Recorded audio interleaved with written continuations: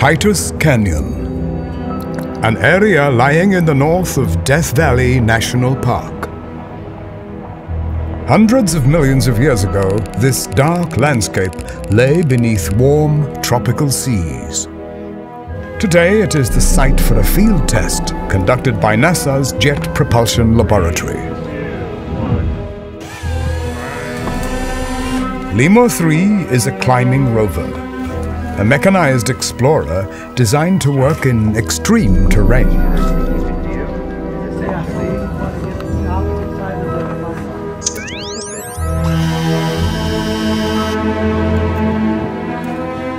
Lemur's challenge is to find evidence of the life that once inhabited this area's long-lost warm waters and muddy terrain. A waypoint is set high on the canyon. Lemur will climb to this point, analyzing the rock face along the way.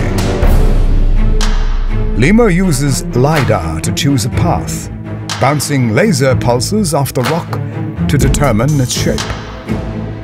It holds itself in place with microspine grippers, made up of hundreds of tiny hooks that can fasten onto any rough surface. The more Lemur climbs, the better choices it makes. Going to release grippers.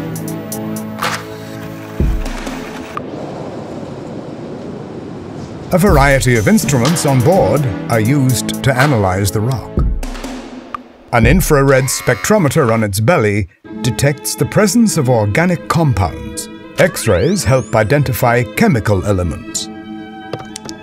It can detect the tiniest fluorescence of fossilized organisms in the ultraviolet. For this mission, a safety cable anchors Lemur to the rock. It helps emulate the lower gravity Lemur will be operating in away from Earth. Away from Earth, it would roam free and unencumbered.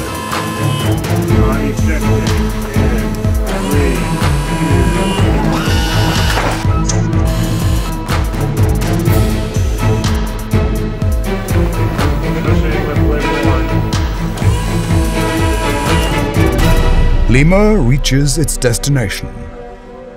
The machine is retrieved, the data analyzed. The results are fascinating.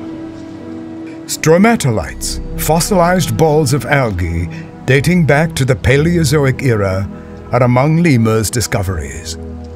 Traces of organisms that once swam in warm seas.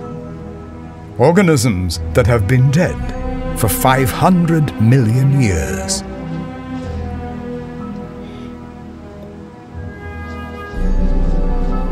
Lemur represents a new generation of mechanized explorer that could one day roam landscapes far beyond Earth. The data it accumulates with each climb is passed to its descendants. If Lemur can find life in rock that is half a billion years old, Think how useful that skill might be at its ultimate destination. Not a rocky canyon wall here on Earth, but out there, among the stars.